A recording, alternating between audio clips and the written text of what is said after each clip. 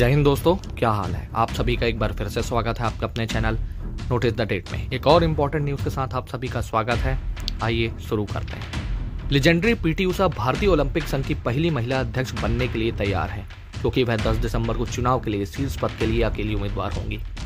अंठावन वर्षीय पीटी उषा कई एशियाई खेलों में स्वर्ण पदक विजेता और उन्नीस सौ चौरासी के ओलंपिक 400 मीटर बाधा दौड़ के फाइनल में चौथे स्थान पर रही।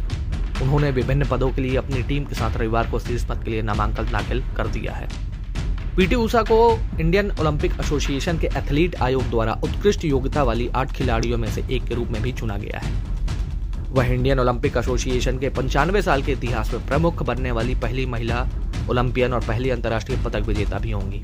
आइए जानते हैं पीटी ऊषा के रिकॉर्ड के बारे में। पीटी ऊषा सबसे सुशोभित भारतीय एथलीटों में से एक है, जिन्होंने उन्नीस सौ बयासी से उन्नीस सौ चौरानवे तक एशियाई खेलों में चार स्वर्ण सहित ग्यारह पदक जीते हैं। उन्होंने उन्नीस सौ छियासी के सियोल एशियाई खेलों में सभी चार स्वर्ण पदक जीते थे, जिसमें 200 मीटर 400 मीटर 400 मीटर बाधा दौड़ और चार गुड़ा 400 मीटर रिले भी शामिल है और 100 मीटर में रजत पदक जीता था।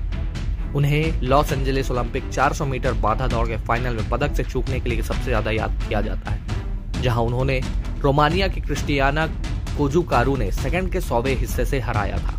भारत के केंद्रीय मंत्री Kiren Rijiju ministry of law and justice of India ने भी बधाई देते हुए कहा। Congratulation to legendary golden girl P T Usha on being elected as the president of Indian Olympic association I also congratulate all the sporting heroes of our country on becoming the office bearer of the prestigious Indian Olympic association a nation is proud of them उम्मीद है आपको हमारी जानकारी पसंद आई होगी। ऐसे ही content के लिए चैनल को सब्सक्राइब ज़रूर करें। Thanks for watching